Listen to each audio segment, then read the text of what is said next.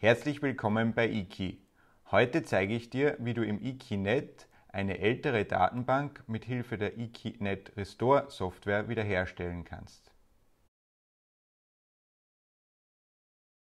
IkiNet Restore wird beim Setup automatisch mitinstalliert und befindet sich im IkiNet-Verzeichnis.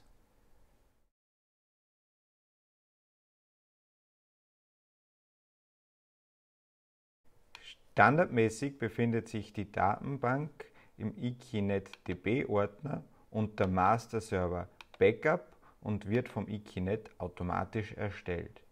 Die aktuelle Datenbank befindet sich ebenfalls im IkiNet DB-Ordner unter Master Server.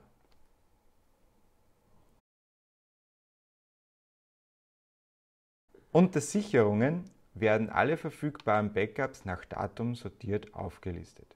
Eine Information der aktuellen Datenbank findet man rechts unten. Die Information des ausgewählten Backups findet man darüber. Hat man die gewünschte Sicherung ausgewählt, muss zunächst der Master Server Dienst gestoppt werden und durch Klick auf Sicherung wiederherstellen kann die Datenbank wiederhergestellt werden. Anschließend muss nur noch der Master Server Dienst gestartet werden und die Datenbank wurde erfolgreich wiederhergestellt. So einfach lässt sich im IKINET eine ältere Datenbank wieder einspielen. Vielen Dank und auf Wiedersehen. Your Finger, Your Key.